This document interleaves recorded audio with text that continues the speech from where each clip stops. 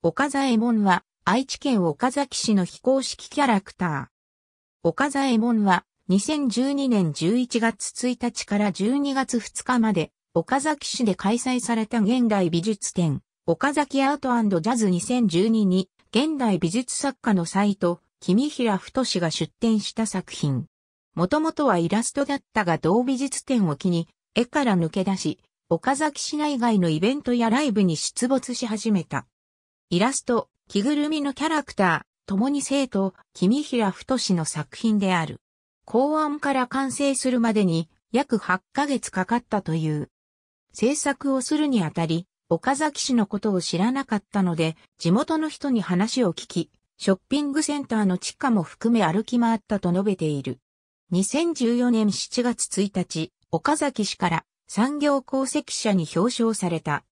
作者によれば、岡左衛門は古いパプアニューギニアのお面に着想を得て生まれたものだという。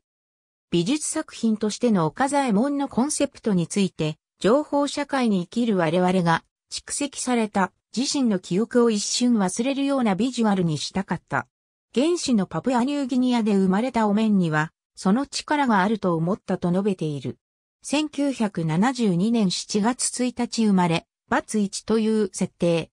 一人称は、拙者で、語尾は、ござる。本名、岡崎右衛門之助。岡左衛門、ジュニアという子供がいる。趣味は、ジャズ音楽鑑賞と現代美術鑑賞。好きなジャズは、マイルス・デイビスのダーク・メーガスとチャールズ・ミンガスの直立エンジンとサブちゃん。岡左衛門、ジュニアが生まれる前、岡崎市内を流れるお津川で妻とデートをした時、ビル・エヴァンスのワルツ4、デビーのレコードを妻にプレゼントした。喋ることができないので、インターネット以外で意思を伝達するための黒マジックとスケッチブックは欠かせない。筆談時の口調もでござる。飲食はできるようだが、顎の下と首の間から食べ物をねじ込む、お見苦しい光景となる。岡崎アート広報大臣の肩書きがなくなる2014年4月1日以降は、出演依頼等の窓口が、岡崎市役所文化総務課から作者の家族が設立した会社に移った。関連グッズに関して、作者は市の PR に活用してほしいと、岡崎市内の業者に限って、著作権料はいらないと申し出ている。年賀状の宛先は、岡崎大記寺郵便局。同郵便局の局長が、岡左衛門切手シートを企画したことが縁で、郵便局止めを引き受けることとなった。2014年1月、約550通の年賀状が全国から届いたという。同年3月末に年賀状のすべての返事を書き終えたことが自身のブログで報告されている。活動当初から岡崎市内の児童養護施設や障害者施設、保育園などへの慰問を積極的に行っている。4月1日、愛知トリエンナーレ2013の開催に合わせ、岡崎市から岡崎アート広報大臣に移植される。任期は1年間。翌日4月2日、地元紙、中日新聞夕刊の一面に取り上げられ、その頃から市民に広く知れ渡るようになった。7月1日、岡崎ジャズメッセンジャーズウィズ岡左衛門の一員としてミュージシャンデビューを果たした。岡崎公園内の岡崎城、二の丸能楽堂にて、岡左衛門のお披露目公演。岡崎ジャズメッセンジャーズは、サックス、トランペット、トロンボーンの3人組。彼らの演奏と歌に合わせて踊りながら、岡崎市の PR 活動を行う。7月10日、日本百貨店協会が主催するご当地キャラ総選挙2013の地区予選結果が同ホームページで発表され、中部5県から1位に選出された。選挙活動中に地区予選を1位になったらバンジージャンプをすると宣言していたため、7月18日には、南知多町の南知多グリーンバレーで公約を実行。その際に、恐怖で顔が縮むという新設定で、小顔バージョンを披露した。8月6日、ご当地キャラ総選挙2013決勝大会の結果が東京都内で発表され、全国2位を獲得。ほどなくして、ゆる、キャラグランプリ2013への出馬を表明。9月16日、同選挙に向けての出陣セレモニーが、岡崎マゼメン会の主催で開かれた。ゆる、キャラグランプリの1位に輝いた際の公約として、スカイダイビングをすると宣言した。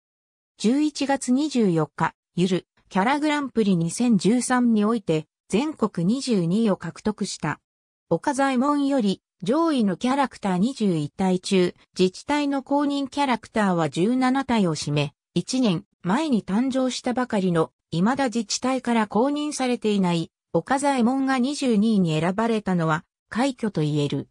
3月30日、厚生通り西の商業施設、岡崎市美港に、初の公式ショップ、岡左衛門ストアがオープン。3月31日、岡崎アート広報大臣を退任。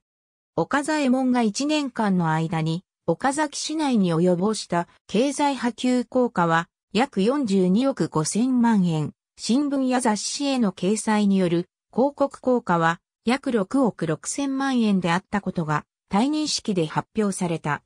4月5日、ラジオ番組、岡左衛門と岸田メルが放送開始。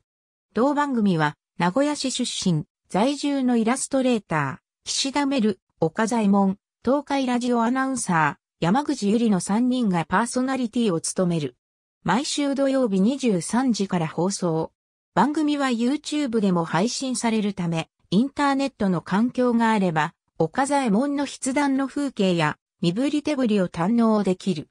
6月11日、CNN が日本のゆるキャラブームについて論じた記事の中で、気味の悪い幽霊のようなキャラクターと紹介される。6月12日、ハンガリーに渡る。首都ブダペストを足がかりに、海外での活動も開始した。7月2日、岡崎市役所にて記者会見を行う。7月から11月にかけて、岡崎市内で開催されるイベントサミット岡崎公園ラーレ2014の概要を PR キャラクターである岡左衛門自らが発表した。岡崎公園で7月26日から全5回にわたって行われるご当地キャラ大集合。岡左衛門のお友達101人プロジェクトには各地のご当地キャラやローカルアイドルが参加する。岡左衛門に関係するものとしては他に、岡崎城の天守閣で一緒に写真撮影ができる朝市左衛門、高さ6メートルの岡左衛門型ロボットを本人が操縦する岡左衛門日本一巨大ロボプロジェクト40周年を迎えるキティちゃんとのハグイベントお願いキティちゃん、中島和隆、中島大輔兄弟とのトークライブなどがある。7月30日、日本リサーチセンターが行った全国ゆるキャラ、ご当地キャラ認知度調査の結果が公表された。上司対象のキャラクター27体中、岡左衛門の認知度は全国8位であった。2月9日、株式会社ブランド総合研究所が行ったご当地キャラクターが知られている自治体調査の結果が公表された。岡崎市と岡左衛門は全国9位であった。4月10日、中島和隆、大輔兄弟が参加するイベント、第2回岡崎グランプリの開催が発表された。資金不足のためクラウドファンディングを行うことも同時に発表されたが、岡左衛門は岡崎グランプリアンバサダーとして同イベントに参加、協力することが決まった。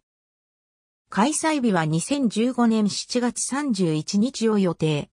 7月29日から8月2日に開催される岡崎城下家康公夏祭りにおいて岡左衛門温度リミックスコンテストの優秀作品を発表する予定。審査員は岡左衛門と岡崎市立南中学校生徒会。岡左衛門と岡左衛門。ありがとうございます。